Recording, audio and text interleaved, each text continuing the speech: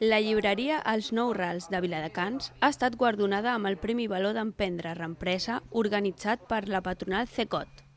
Després que la llibreria hagués de tancar per culpa de la crisi el 2013, un any més tard de la reobertura, els nous propietaris continuen treballant per consolidar el projecte i per obrir nous establiments.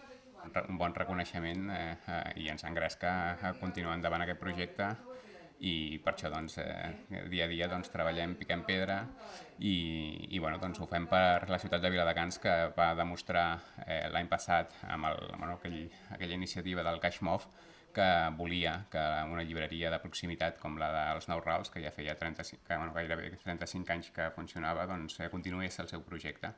En aquesta nova etapa, a més de l'oferta de llibres, també s'ofereixen tallers, cursos, joguines pedagògiques o trobades culturals.